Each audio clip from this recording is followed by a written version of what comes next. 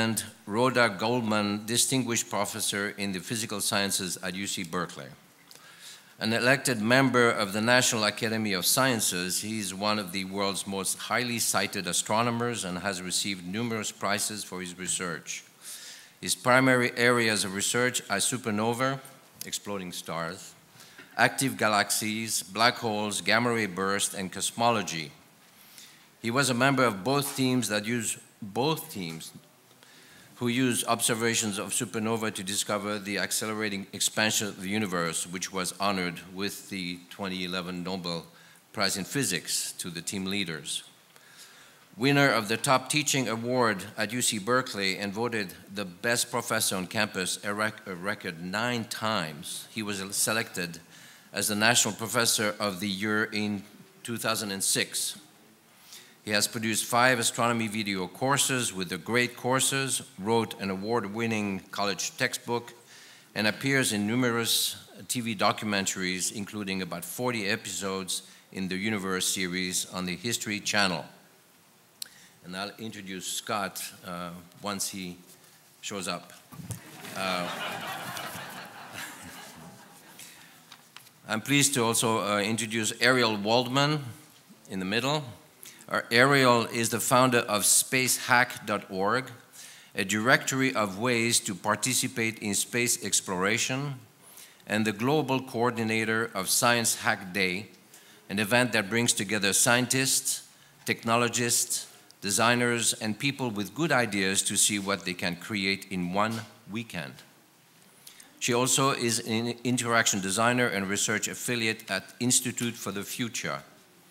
Previously, she worked at NASA's CoLab program, whose mission was to connect communities inside and outside NASA to collaborate. Her website is arielwaldman.com.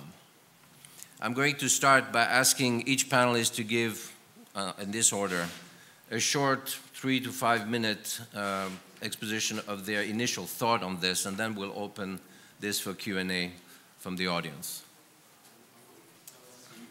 I think that the next revolution in science is going to come about as a result of exponential technologies like artificial intelligence and the massive data analysis that will result from the kind of processing power that we're going to have in the future.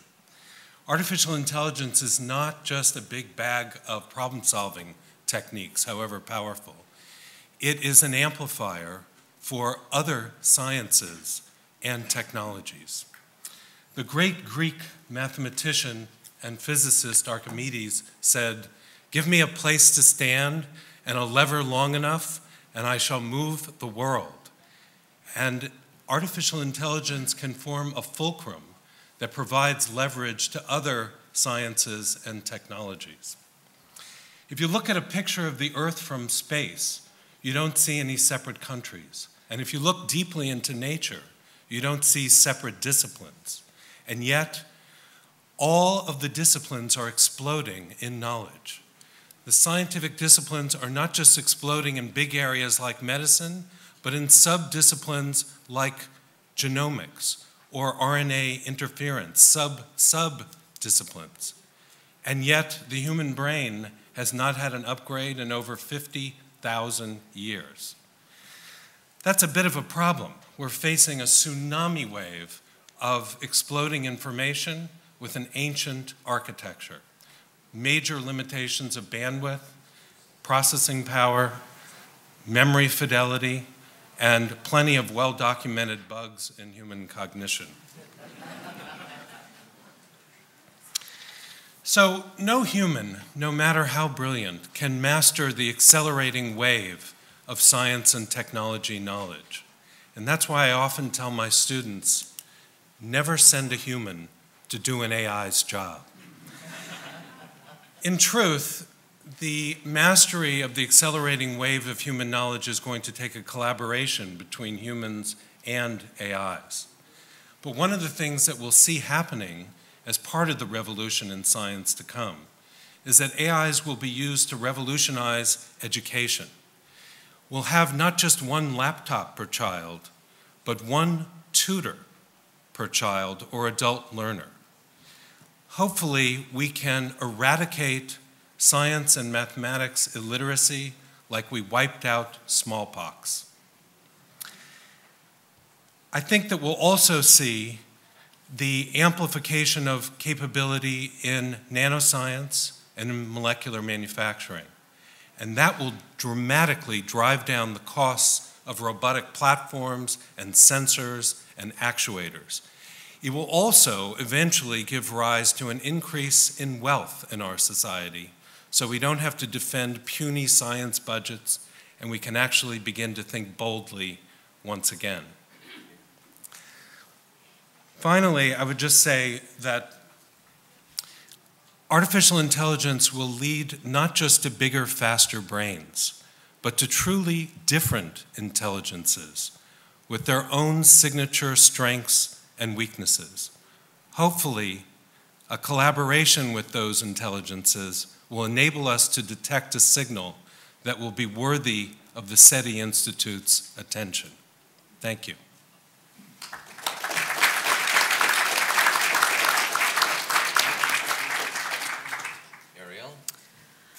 Hi, so I'm really excited to be here. I was at the first SETICon uh, in 2010, and I was here as a total fangirl, uh, geeking out about all of this. So uh, I am, I, while I'm up here, I'm totally with you in the audience, going like, "This is amazing," um, and I'm really excited to talk about the next big science revolution. I guess what I would like to start with is asking you all a question, just to think about. Uh, what will you do when space exploration is as cheap and accessible as the web is today. So if you can imagine having access to space similar like you do the web, what might you do? That's a really fascinating question to me. So to me, the next big science revolution is that's going to be taking place is really citizen science and open science and having a complete renaissance of those. So if you can imagine, even within the next 10 years, what a citizen science and open science renaissance might look like. That's where I'm really fascinated, uh, and that's where I like to spend a lot of my time thinking. I think there are a lot of really interesting signals that are taking place today that are really kind of showing the way to what's going to be happening over the next few years. You're seeing more and more biohacker spaces. So these are spaces where people who do and don't have biology degrees are actually doing biotech and exploring biotech in these hacker spaces. They're not in universities, they're not in government agencies, but they're actually doing it on their own, sometimes in collaborations with different types of people. Um, there's also a lot of uh, work being done around space exploration and making that more accessible, not only in commercial space, but you also have people who are discovering galaxies, being able to control Hubble on their own because they found something interesting in the data. You have all these people who are now being empowered to actually actively contribute to science and space exploration. And some of these people have science backgrounds, but some of them don't have science backgrounds at all. How many of you are familiar with uh, Galaxy Zoo? Raise of hands. A few of you, okay. Uh, for those that don't know Galaxy Zoo, it's galaxyzoo.org, and it's a uh, online interface where anyone can go and classify and potentially even discover galaxies that have never been discovered before. I find this really fascinating. They now have like over hundreds of thousands of people who are doing this. And the really cool part of this is that all of the data that they use, they originally used data from the Sloan Digital Sky Survey, and now they use data from Hubble. All of that data was already out there, but it wasn't until someone actually built an interface to it that allowed now hundreds of thousands of people to be actively uh, classifying galaxies, and some of them actually finding galaxies, and this has already happened. This is just a really fascinating time to me, and I think you're going to be seeing more and more of this. But not only are you going to be seeing uh, projects where people can get involved in science, but you're going to be seeing people who are actively directing science. And you're going to be seeing people who actually want to explore the fringes of science. So to me, citizen science and open science isn't just about replicating things and democratizing things and making them more accessible. That's definitely part of it. But it's also about exploring unpopular left behind science, stuff that might get left out of bureaucracies, things that might not be on NASA's roadmap. This is the really exciting part uh, about this is actually exploring all these different parts of science and having more people who feel like they can actively contribute to science. And they don't necessarily have to go back to school to do that. So that's what I think really the next big science revolution is going to be.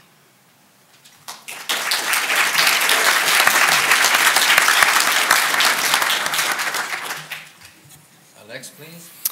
Okay, so just uh, for my brief introductory comments, I wanted to focus on dark matter and dark energy. Of course, there's exoplanets and, and nanotech and, um, you know, biophysics, all sorts of cool things one could talk about, and maybe we will in the Q&A, but I'm an astronomer and I work mostly on dark energy and dark matter, so let me focus on that.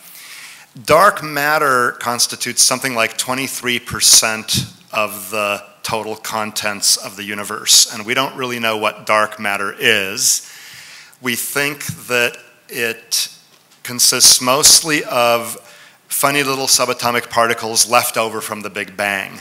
The generic name for them are the weakly interacting massive particles, WIMPs. Now, they're very hard to detect, and physicists have been looking for them for a couple of decades now and haven't found them. That's okay so far because they're really hard to detect. They hardly interact with anything at all. But if in the next 10 years we find them, okay, that'll be great. We can study them and that'll be a revolution. If we don't find them, that'll be a revolution as well because it'll mean that we have to kind of go back to the drawing board dark matter, that idea will probably be wrong if we don't find the particles responsible for dark matter in the next 10 or 20 years. And it'll be a revolution in science because we'll have to think up some other reason why galaxies are held together and clusters of galaxies are held together and so on. In other words, right now we think they're held together by dark matter. But if we don't find dark matter with increasingly better technology, then it may turn out that dark matter is the 21st century equivalent of a, a, Ptolemaic epicycle. In other words, it's, it was an interesting idea that turned out to be wrong. Um, so if we find them, that'll be revolutionary. If we don't find them, that'll be revolutionary. That's 23% of the universe. Then there's 73% of the universe, which we call dark energy. It's what supposedly is causing the expansion of the universe to accelerate all right? We discovered this acceleration in 1998. Uh, it's now widely accepted that the universe is accelerating in its expansion because there's lots of other evidence now besides the supernova data on which we based our conclusions 14 years ago. Um, either dark energy is producing this acceleration or some failure of Einstein's general theory of relativity on large scales. Those are the two competing hypotheses right now.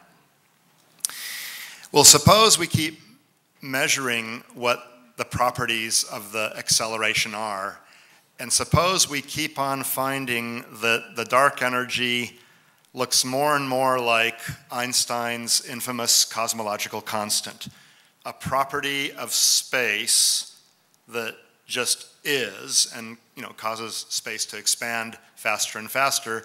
It can be thought of as a in a sense, the, the vacuum energy of space, okay? For a long time, people thought this would be zero, okay? But suppose it's found that the vacuum energy is non zero and it's truly the cosmological constant. Then I would think this will create a revolution because it will, it will argue even more forcefully, or it will add to the arguments that we already have that ours might be just one of a multitude of universes in what we call a multiverse. Because if, if the acceleration is caused by just this property of the vacuum of space, there's no reason I can think of, and people, theorists much smarter than I am, have been working on this. There's no reason for them to think that the value of this vacuum energy had to be the particular value that we measure. Okay? More likely, it's just a random value that occurs in universes. And if there's a whole spectrum of universes having a, a wide range of values for the cosmological constant, well, we can't possibly live in any of those in which the cosmological constant is big because basically stars and galaxies can't form if you have a big cosmological constant. A value of zero for the cosmological constant is very unlikely because out of all the numbers you can imagine, if they're truly randomly distributed, zero is a very unlikely number. So the point is, is to, that if we live in a universe with a small cosmological constant, but one for which there's no physical basis, in other words, it just looks like a random number, the only way I can see that happening is if there's a plethora of universes. In other words, an ensemble of universes spanning the full range of cosmological constants, and we happen to live in one of the universes in which, you know, conditions were conducive to our development. So I would think that um, a demonstration that the dark energy is the cosmological constant would be yet another argument for a multiverse, and that's a true revolution in the Copernican sense because, you know, not only is there our own universe, but it's one of a multitude. And that would be a really cool thought, I think. I mean, it, it's a cool thought already, but it would be cool to have even more evidence that, that this may well be true, though very difficult to prove.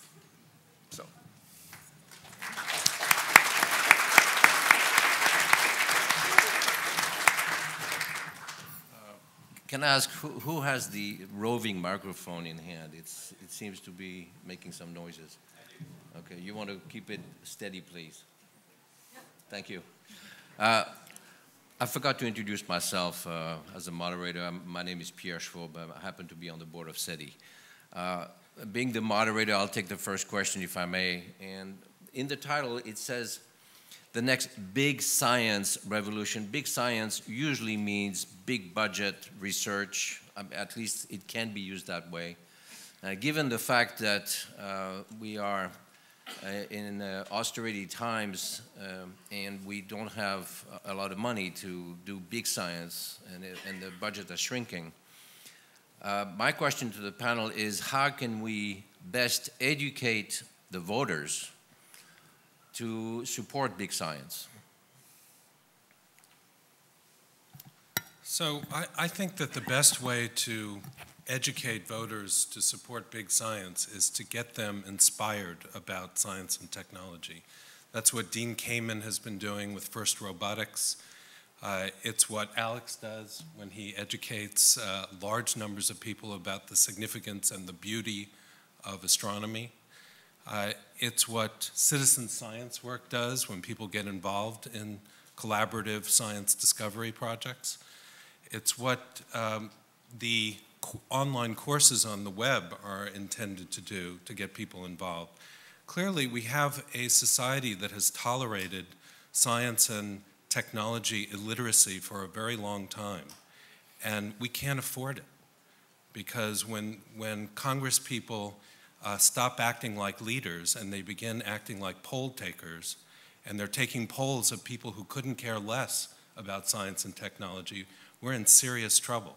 The good news is that we can make science and technology cool again, and I think we will.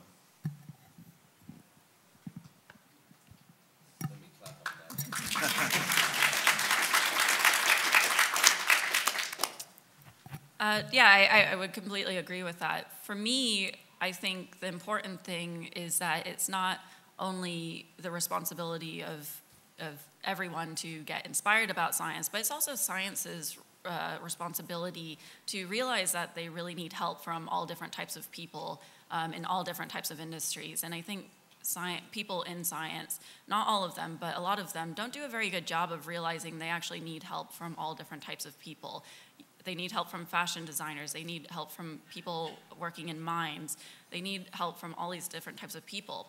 But for the last few decades, really the communication has been unless you actually uh, work in science, unless you've pursued a traditional degree in science, that you really can't get involved. And if you do want to get involved, great, go back and get a PhD first. Um, and I just don't think that's very accessible. So I think it's not only about you know finding ways to get people inspired by science and, and getting them to view science as just another fabric to work with, um, even if that's not their chosen career. But it's also science's responsibility to better communicate that they need help from all different types of people and actively seek it out. So it's not just a communication factor, it's also an action factor. science institutions need to put more salaries available to have people come in from these different industries and help them.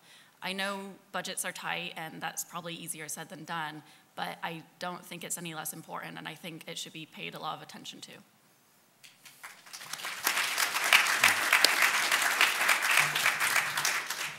Let me add to what my colleagues said, and by the way, I agree fully with them. Um, government budgets are really tight, and I don't see that changing anytime soon. There are huge uh, things that, you know, we have to pay for in society right now. And so although I fully support and, you know, wish the government would, would fund science and technology more, I think we have to increasingly rely on private philanthropy. So it's a private-public partnership. And this is beginning to happen. You know, the Keck telescopes were built in the 1990s on, on Mauna Kea volcano from a, you know, based on a gigantic contribution from the W.M. Keck Foundation, totaling something like $140 million. The Gordon and Betty Moore Foundation has given $250 million to build a 30 meter telescope that the University of California and Caltech are uh, partnering to build with uh, international partners. Uh, you look at what Elon Musk is doing. We heard about that last night with SpaceX. Uh, other, you know, multimillionaires and billionaires can and are increasingly contributing to science and technology, and I, I applaud that. I think more of them should do that. And I think we, you know, we're not going to be able to do big science without the private philanthropy. And each of you, of course, can, can help out in, in small ways or big ways, whatever, whatever you can do and it, it all adds up. But we can't just rely on the government anymore.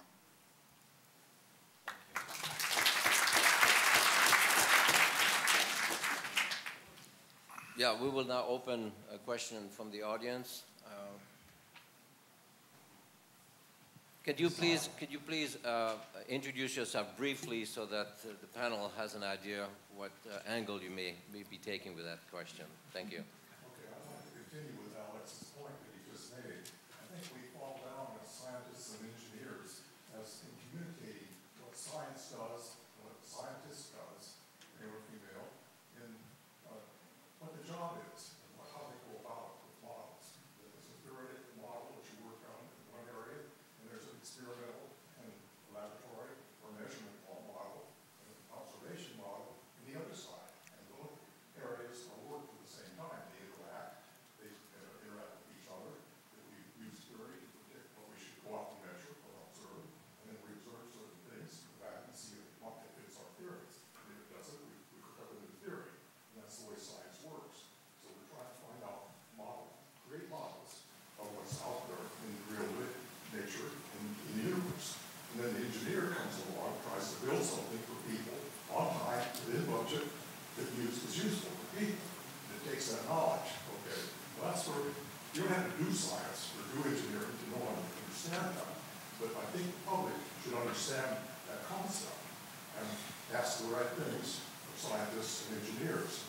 It's not hard to go and understand some of this. But, uh, you don't have to go through the one over R square law to convince people gravity doesn't go south of the space station. It goes out to the end of the universe. And if something's in orbit, you can describe that as flying over the horizon rather than, than simply uh, going out and floating around in, in microgravity as NASA terms. I'm, I'm sorry, I'm going to do a Michael Krasny on you and, and ask, what is your question? Okay. Is there a question from the audience? Yeah, Mike Rosenblatt, San Jose. The, uh, the big uh, gorilla in the room now is energy. And uh, no matter what else we turn and talk about, that would seem to be uh, something we have to talk about. We're talking about the next big science revolution. Where are we going to get our energy from? What segments of the uh, Earth are we're going to get it from? Who's going to pay for it? How is it going to be paid for? Because without the energy, you can't do anything. Yeah. Yeah, well, you know, so there are many possibilities, of course, but every day I see this thing glowing in the sky. and it's putting out so much energy, it's just almost unimaginable. So I, I, know right now it's still very expensive to harness that en energy, but I, I, think, you know, that's an obvious source, solar. mm -hmm. Yeah, I would just add to that that uh, people who think about solar uh, often, and, and often people who are critical of solar power, uh, point to the fact that it supplies about 1% of the US's energy needs. But in fact, it's decreasing in cost. Solar photovoltaics are decreasing in cost by about 50% every 18 months or so. And in fact, if you get a number of those cycles going, it's going to be extraordinarily cost effective. Uh, so eventually, we'll see solar and other forms of energy, more traditional forms of energy, uh, price crossing. And when that price performance curve crosses, you'll see solar energy being uh, an amazing and cost effective source. Uh, we have a question from this side of the room. Hi. Um, okay, uh, my name is Jamie. I'm a graduate student in writing. Um, so I, I, thought the three possible next big science revolutions you all mentioned are really interesting from like big stuff out in space to something I can do at my computer right now. But I wonder if you could share with us and um, just an idea of what you might have of another potential big science revolution that isn't also the thing that each of you also is working on right now. I just wonder if there's something in a different field that you also think is coming and is big and important and cool. Yeah. One, okay. Um, sure. I, I think that uh, synthetic biology is going to blow the roof off of our relationship to uh, cells and our own bodies. Um, the fact is that we can now sequence the entire human body. We can think of DNA as a programming language. Uh, the ability to read that programming language is fairly recent. To read it very cheaply has been fairly recent. But pretty soon we're going to be able to write with that programming language. And that is really going to change our relationship to biology. It's very exciting. Yeah, very good. Oh, oh sorry. One moment. Ariel, uh, go ahead. Oh, no, I was just going to say uh, it's, that's a great question, and I, I, think you should push the panelists to expand more all the time. That's a good thing to do. Um, one thing that I think is also going to be a, a revolution, although I think it's it, it, might take some time. It's definitely in its very early stages. Is is exploring the ocean and really understanding the ocean more.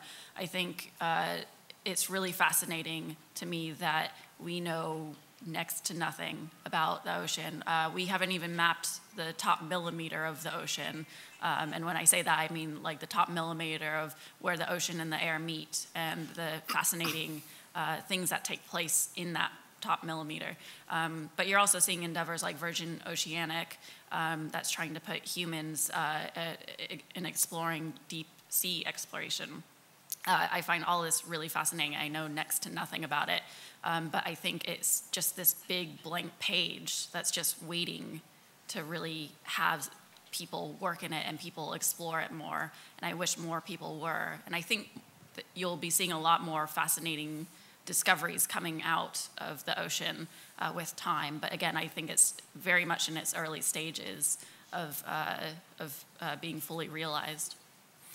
Uh, let me follow up on what Neil said. I think that uh, indeed synthetic biology and genetic engineering in general are going to be a huge revolution. Um, you know, people are going to find ways basically to cure or largely treat genetically based diseases and um, you know extend extend our lifetimes. And you know I'm not sure how many generations we are away from Ray Kurzweil's scenario where all these nanobots infest our bodies and are continually repairing us. And then the only thing you have to worry about is not being you know hit by a truck or something. Otherwise you will have achieved immortality. Um, but you know that that may not be a generation or two away the way he says it is but it but it but it could be here within you know 10 who knows how many generations and indeed uh, I think our long-term descendants are likely to be computers actually at some point you know because computers could um, could last much longer and survive interstellar flights and stuff like that. So that's a, that's a big area. Um, The, the one that's in the more immediate future and is a little bit closer, again, to my own field, is the discovery of gravitational waves. When uh, two stars merge, for example, or two black holes merge together, ripples in the shape of space and time go flying out. And this effect has been indirectly detected by measuring the orbits of neutron stars orbiting one another, pulsars, okay? But the waves themselves have not yet been directly detected. The direct detection, which I think will happen in the next five to 10 years, will open up a whole new window on the universe because gravitational waves are not yet another form of electromagnetic radiation. They're a different type of way in which to study the universe altogether. So I think that's going to happen soon. Hi, my name is Joe Urban, and uh, I'm a business intelligence analyst. And in my profession, uh, one of the challenges we have is to uh, review the data and to question our assumptions as to how things actually work. So the challenging question I have to you is, what assumptions do you think that we are holding on to, maybe the scientific community, um, that will be challenged or will break down as uh, maybe the next you know, generation progresses? I would just list one big assumption that I see both in the scientific community and in the lay community, and that's that the future will be more or less like the present. That, that the pace will be pretty much like the way it's been. And I think that's, that assumption is completely false. We really are undergoing exponential acceleration of science and technology. And you're going to, you probably already feel it to some extent when you deal with your iPhones and Blackberries and emails, and you sort of feel the tsunami uh, wave of exabytes of information washing over you. But that will double in 18 months, and that will double in 18 months. And uh, pretty soon you'll, you'll start feeling the excitement of being on an exponential curve. Yeah, I, I, would just say one of the assumptions that needs to really be broken down, um, and I think will be broken down, is the concept that citizen, citizen science and open science is cute, or it's a toy, or it's something, you know, that, oh, it's really great that we're letting everyone participate, but, you know, they're not really contributing to science. And, oh, that, that, that scientific discovery they made, I, it, was, it was cute, but it doesn't really get cited in any papers. And you know, that is going to go away. Um, people, there are many people who still feel that way, but it's getting broken down already. You already have people who are making actual amazing scientific discoveries that do get cited in a lot of papers. Um, and it's just very disheartening to see people who uh, either want to attack people because they get a lot of publicity. So citizen science and open science gets a lot of publicity now, and so you see scientists making the assumptions that, oh, they're just very good at PR, but they're not actually doing real science. Um, that assumption is going to be really broken down and institutionalized more and more over time. Um, actually, uh, it was exciting to hear uh, Alex talk about gravitational waves because there is a project called Einstein at Home, which is a project that you can get involved in uh, to actually help try and detect uh, gravitational waves. Um, and so this is something that anyone can get involved in. And how cool would it be if this project actually uh, detects them? It would be amazing. And as, as he said, that's one of the next big science revolutions. So these are things that are being democratized that anyone can get involved in. And so I think anyone who's calling this cute or a toy um, really needs to be prepared to have most people arguing against them in, in the next few years. So the, the only thing I can say is that um, regarding assumptions and stuff, sometimes I wake up screaming at three o'clock in the morning worrying that dark matter and dark energy are the 21st century Ptolemaic epicycles.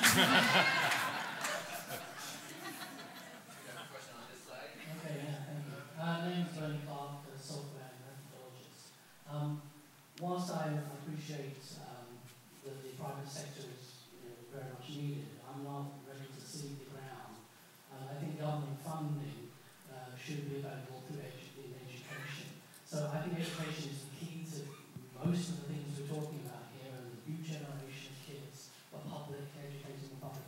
I wonder if you have any creative ideas how the educational platform might work in the intellectual area with the ideas and the, the, uh, the citizen scientists and things like that. How can we energize people through education?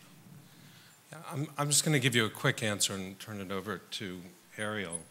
Um, I, I think that you're right. We shouldn't cede the ground of um, educating the population about science and technology to the private sector. But I think that Alex's point was well taken that we can't just always assume that it's going to be government funding for science and technology that's going to uh, get us where we need to go. And in fact, um, if you look at educational initiatives today, the most exciting educational initiatives often come from the private sector. And the things that, uh, and they often are funded by people who've made a lot of money in the private sector, and there's nothing wrong with that. That's really a very good thing. Uh, education has been in the doldrums for a very long time, and we need to disrupt it. And the good news is we've got the technology to disrupt it. We have the World Wide Web, we have AI that can provide individualized tutoring, we have massive amounts of data that we can use for predictive analytics, and uh, I think we're in great shape to disrupt education.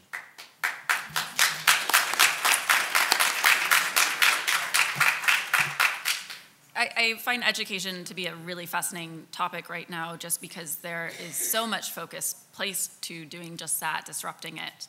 Um, that said, in the meantime, there are really exciting things also taking place. Uh, some of you may have heard that DARPA recently gave a grant to the Maker Faire uh, people, uh, people who are making interesting things. And so there is a Makerspace grant given from DARPA uh, to create maker spaces, places where kids can actually build things and explore different ideas by actually um, doing something as opposed to just studying something. And so these maker spaces are going to be built out in schools uh, across the US um, over the next few years. That program is already getting started.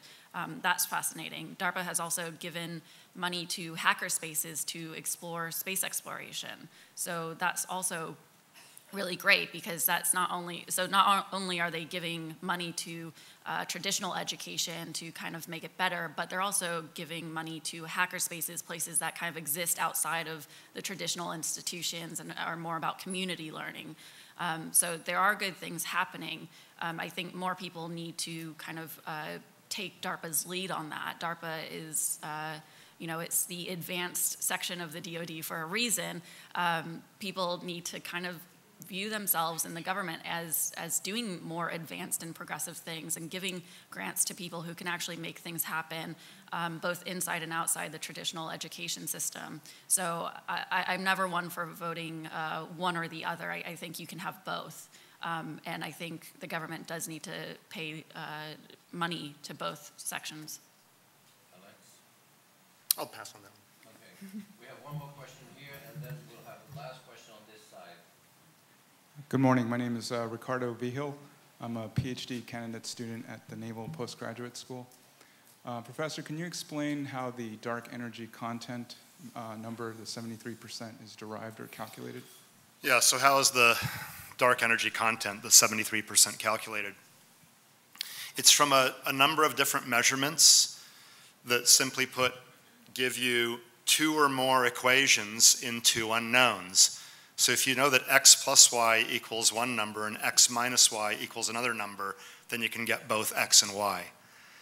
And to make this a little bit more concrete, the supernova measurements give you the difference between the gravitationally attractive stuff of the universe and, in a sense, the, the gravitationally repulsive stuff. That's the x minus y.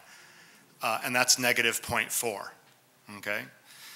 And measurements of the microwave background radiation, the WMAP map and things like that, the COBE map going back a couple of decades now, give you the geometry of the universe. The overall geometry of the, of the universe is flat, that is, Euclidean space works. Gigantic triangles have the property that the sum of their interior angles is 180 degrees, blah, blah, blah. So, so aside from the presence of stars and black holes and galaxies, if you average over all that, the properties of space are that it's flat and Euclidean. And that, through general relativity, requires the total matter plus energy density of the universe to be one in some units. So dark matter plus dark energy equals one, dark matter minus dark energy is negative 0.4 to one significant digit. That means the matter is 0.3 and the dark energy is 0.7. Okay? Last question on this slide. Dan Lyson, software engineer. Um, Certainly, after I was born, I was lucky enough that Sputnik occurred, and that spurred science education development in our country quite a bit, but Sputniks are rare far and few between. Can you envision any kind of event like that happening to once again fire up the imagination of our country? And if so, what nature of, of, uh, event would that be? Uh, so I think that event uh, uh, is going to be the fact that currently on NASA's roadmap, we are supposed to be uh, within, a, a human is supposed to be in the orbit of Mars by 2033. That's pretty exciting, and it's not widely communicated because I imagine the dates, as always, can move a little bit. Uh, but just even being in the orbit of Mars by 2033 and hopefully then getting to the surface of Mars after that with a human, I, I do think it's a big enough event. I, I, think people want to, you know, talk about how, oh, we've, but we've already been to the moon, it's not going to really ignite, and, you know, people have lost interest. Um, I think that's not true at all, um, and I will laugh in their face when I see everyone being really excited about it. uh, I, I, do think Mars is, is the next thing that can really um, capture people's imagination. I, I, know that we're supposed to go to an asteroid in the meantime, um, but I, I, think Mars is really uh, the next thing uh, that will be a huge event like that. I think that the Google Lunar X Prize will be something that will capture people's imaginations, partially because there are lots of competing teams. It's a government private collaboration. It's really a very exciting uh, prize competition. If you haven't heard about it, you can look it up. Uh, and also, I, I, think if we see the signature of life uh, in around one of the exoplanets, uh, that will definitely get people's attention. yeah, I, I like to say that, you know, on October 4th, 1957, was the best thing that ever happened. You know, the launch of Sputnik was the best thing that ever happened to U.S. science and technology because it, it gave us a real kick, in the pants. The U.S. government saw how far behind the Soviet Union we were in science and technology, and they started pouring huge amounts of money into universities for scientists and engineers and applied physicists and you know, computer programmers and stuff. And so it was an amazing event, and we've, you know, had a, a fantastic half century since that time. I'm not sure what it's going to be to launch us into another phase of growth like that. Maybe it'll be Mars, um, maybe the, the, the, growth of um, the internet and stuff, but I think it has to be something actually that um, is perceived as either a threat from another country or, uh, well, I mean, that would do it, right? If, if a Chinese moon base might do it, um, something that is either a, a, a, security threat to the U.S. or that shamefully places in our, puts, in our, puts, puts us in our place in terms of the perception, the world's perception of our place in science and technology, as, as the launch of Sputnik did, basically. I mean, there's this thing beeping and out there, and, and the U.S. was nowhere close to that kind of technology at the time, or at least it wasn't known to the, to the typical person. And so um, I hope that there won't be a huge security threat that launches us in this direction. Uh, so I hope it's something that's, that's good, basically, like, like a Chinese moon base or another country going into orbit around Mars first or, or planning a lander. Uh, I'm in general for robotic missions, not for you know, human space flight. But I do admit that human space flight has the one advantage that it can actually capture the attention and the imagination of people who will then rally behind it. But it's very expensive, it's very dangerous. It just makes a lot more sense to send robots, to tell you the truth. But I'm just not sure how much robots will, you know, whether they'll be as good as cap at capturing the imagination and the support of the general public. Right. When people make the first trillion dollars in space, that'll also get. Uh, yeah. yeah. I was a little eager to liberate you, and we seem to have another 15 minutes, so Yeah, because there's a, a half-hour break after this anyway, so. you're quite right. Uh, So there's been a lot of talk about education. My name is Art Sussman. I'm a scientist, and my career has been all about K-12 education and public understanding of science.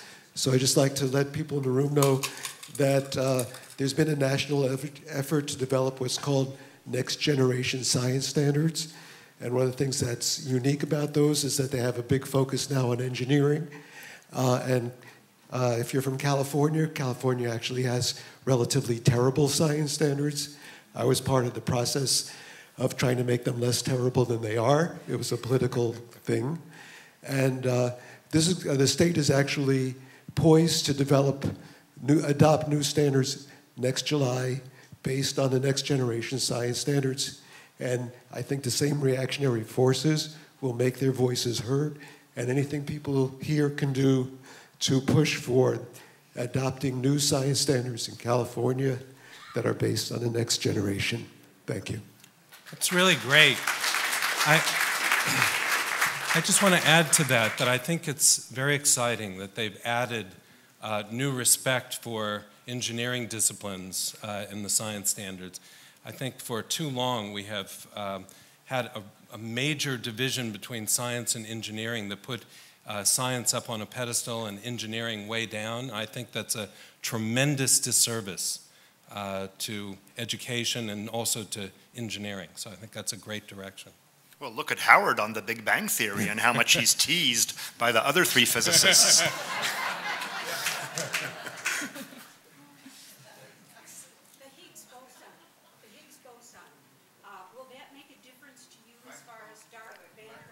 I'll, I'll repeat the question. Yeah. Or, okay.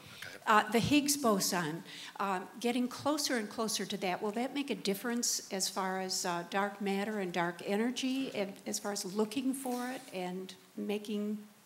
Yeah. So uh, the question is about the Higgs boson, and um, you know, it's it's this particle associated with a, a, a field, a hypothetical field, which is thought to end up determining the mass of all the fundamental particles based on, in a sense, the resistance they feel while traveling through this field, just to give an explanation to those who may not have heard of it. Um, and there, there's rumors that um, July 4th or so, around that time, there's going to be a big announcement from the from CERN and the Large Hadron Collider regarding the possible discovery of the Higgs boson.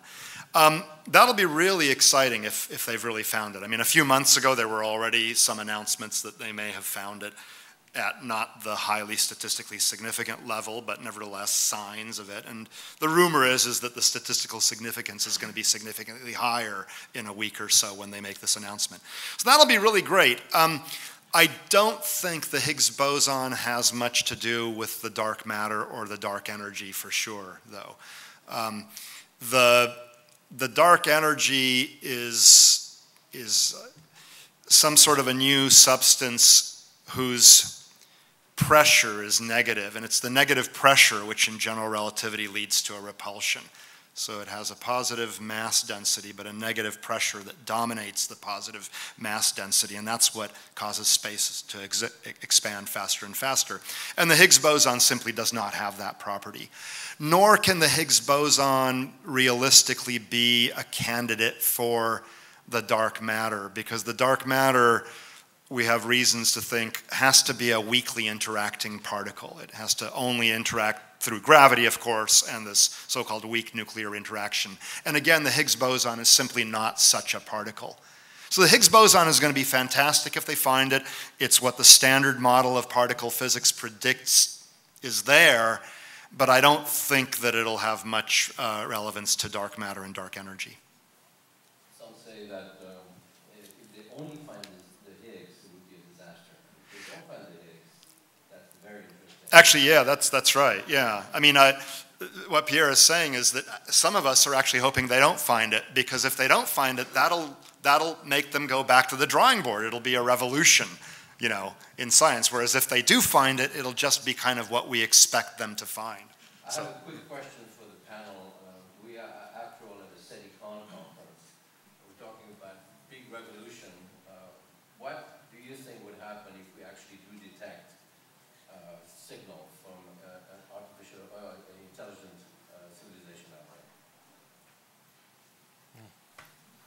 So um, I've, I've given some thought to this, and I think that the, the fact is that the scientific community would get it right away. Uh, and there's a, a large group of people that would scratch their heads over it and not really know what they thought about it, and gradually become socialized into understanding that we're not the only intelligent species out there, at least not, not the only life out there.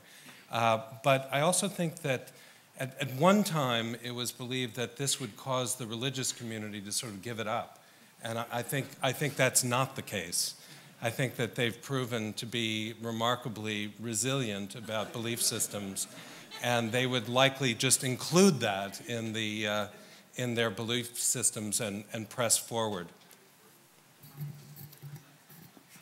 Uh, I, I, mean, it would be really exciting.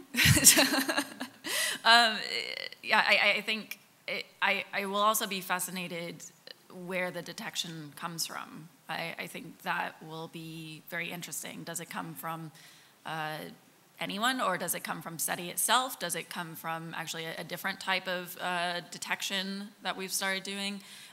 That's going to be really interesting.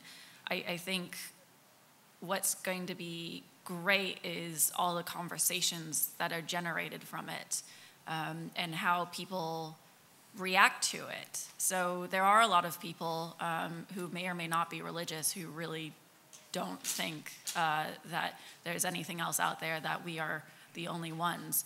Um, it's going to be really interesting to have conversations with them uh, about this and, and get their uh, insights and, and really get more of an understanding of um, how they how they grapple with this, or, or do they just straight up deny it? Um, that's going to be just so great.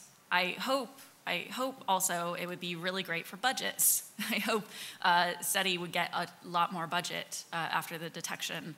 Um, I think you know it's it's difficult to stay patient, and I'm a very impatient person. But it's difficult to stay pa uh, patient um, and continue pouring money into something uh, that's a, a very long-term thing. And so uh, I think it would be really great, and it, would be maybe similar to that Sputnik moment. You know, maybe not, yeah, we did it, but yeah, there's something out there, and we should go explore more. Just briefly, um, I think, you know, scientists would be very excited, and those who are knowledgeable about this would, would you know, think this is fantastic. But much of the world, I actually think, wouldn't care all that much because they're already convinced that UFOs are out there and have been detected, and, and farm girls in Kansas have been impregnated by the aliens, and, and they or their, their neighbors have been abducted and stuff. So, such a giant fraction of the world already believes in visitations that they'll just say, You just got a signal? Big deal. I grew up in Kansas. I did not get abducted. Oh, that's good. That's good. And I did not mean to imply that every farm girl in, in Kansas got abducted or impregnated, but, uh, but some claim that they did, whereas really they were just having a fun time with their boyfriend in the haystack, you know? Uh, my name is Vincent Teofilo. I'm a uh, former fusion and fission plasma physicist, but uh, uh, after I told my employer 30 years ago that we wouldn't have tokamaks for another 50 years, uh, I was gainfully unemployed and been working on observatories the last 30. Um, my question is to Alex with respect to um, dark energy. When do you think we will be able to harness dark energy to create Never. Warp, warp, warp bubbles or yeah. wormholes? Right. So, um, you know, never say never, right? But right now, my feeble mind cannot imagine harnessing dark energy at all, um, especially if it ends up being just a property of space then it can't be gathered. Then it's not something you can collect and stick in, inside a box. And the measurements right now are entirely consistent with it being the cosmological constant, that is, a property of space rather than some new field with an associated particle like the Higgs boson and the Higgs field. Um, so if it's just a property of space, then it, then it can't be harnessed. Um, and if it's not a property of space and can be harnessed, there's just so little of it, right? I mean, in this room it exists, but it has a completely negligible effect. It's only after you accumulate this stuff over distances of a hundred million light years or more that it begins to dominate over all the stuff that's gravitationally attractive. And so a hundred million light years is a, is a fairly large distance the last time I checked. Um, so I'm gonna just say never, but I'm gonna put that in quotes because, you know, never say never. But, but, but since this is the, the science fiction and science conference, uh, many of you have probably seen the Avengers movie. Yeah? Uh, not, uh, okay, a few of you. Uh, the biggest problem I had with the Avengers movie was not that you've got all these superheroes and, and, and uh, all that. It's that you know, they try and harness dark energy in the Avengers. And so they've got this cube of dark energy, and it opens up a portal to space, and the aliens come and, and try and attack us. Uh, and the whole time I was going like, but if you harness dark energy, wouldn't it push the aliens further away? they got the sign I, wrong. I couldn't. the whole movie, I was going like, but this really doesn't make any sense.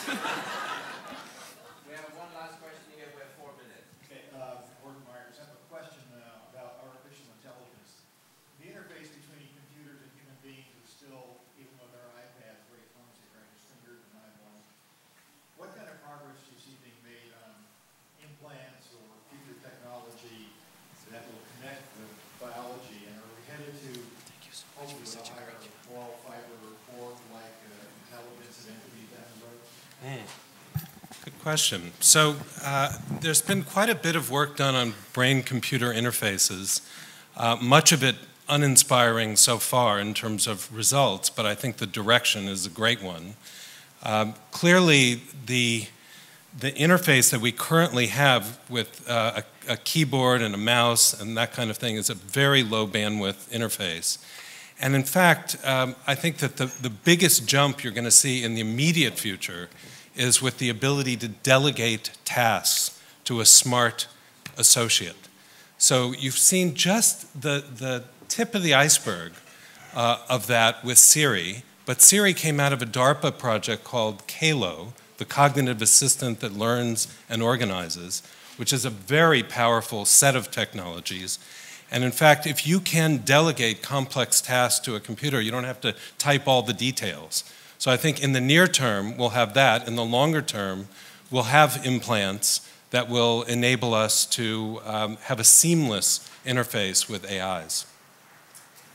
Yeah. Well, I want to thank the panel, but before we close, I have uh, a duty, a very pleasant duty, to announce that uh, there will be an auction. I believe it is later today. I'm waiting for, for the details, for time and location, space and time. Uh, there will be an auction to participate in a trip called Mission Mars on Earth, where you would actually go to the Antarctic or thereabouts. You know, the North Pole itself is sitting on water, so probably it's not where we go. But there is an expedition that is going to go to, to close to the North Pole to uh, investigate what, how would we be able to survive on Mars and, and do a, a scientific experiment over there. I personally went to the South Pole about uh, five years ago and spent 10 days there to look at some of the experiments that were done by some of my buddies at Stanford. And I highly recommend to do something like this. Now, I have to tell you, after 10 days at the South Pole and I came back, in the taxi from the, from the airport to, to my hotel, I, every second I said, look, a tree, a tree, a tree. You, you get completely uh, blindsided when you're at the South Pole, or probably Antarctica will give you the same kind of uh, fantastic uh, experience. Where's Scott Hubbard? Yeah. the Mars, Mars czar is, is, is missing in action. Do you know when? 11 today? Okay, 11 o'clock today, uh, Ballroom C. Thank you very much. Thank you to the panel. Thank you. Very enjoyable.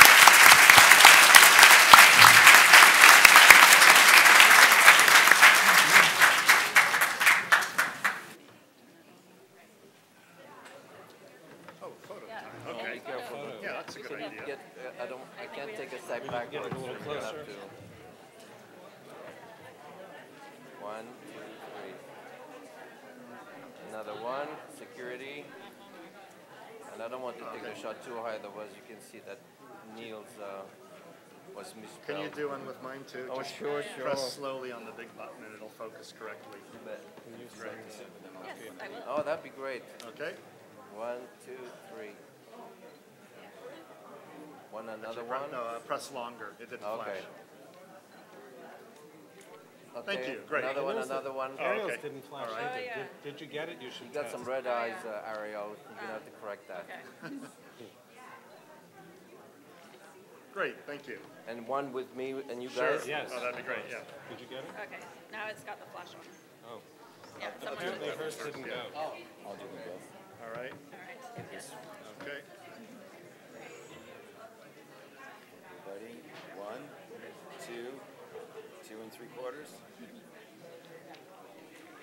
Thank you. One last. So, can I take two with this? Is that okay? One, two.